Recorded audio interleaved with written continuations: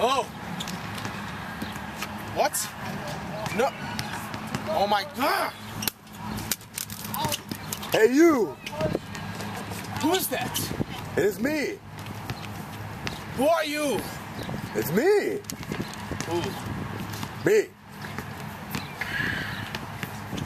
Did you know what you just done? What? Did you not notice? Notice what? You are polluting! You're polluting your Mother Earth!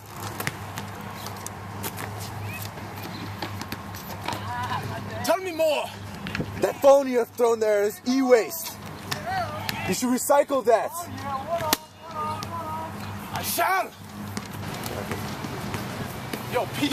Yo, what happened, bro? You'll never believe what just happened, dude. What happened? Tell me. I dropped this phone, man, and some crazy voice came out of the freaking sky, dude.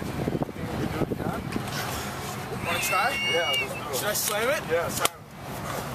Hey, you! See, there it is, man.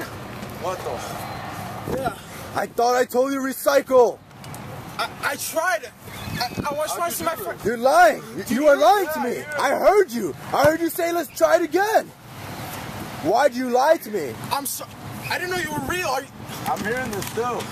Did you know that 87.5% of e-waste is incinerated and dumped in landfills and only 12.5% is recycled? On, You did not. who are you? It is me. I told you already. Who are you, though? Me. Did you also know that 5% of total trash volume is e-waste?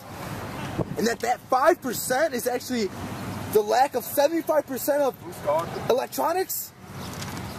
I should. I should pick this up, shouldn't I? Throw it away now. Recycle. Recycle at once. I will, Peter. I never really realized how important e-waste recycling really was. Yo. What we talking? Not that one. Voice, voice again. Yeah. Not that one either. This one. Good job, sir. Tell me, who are you?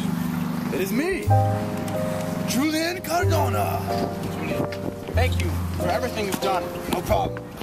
Pass on the knowledge, my friend. Do you want that baby? Wait. Do you want that baby bunny to die? Do you want it to die? Do you want it to die?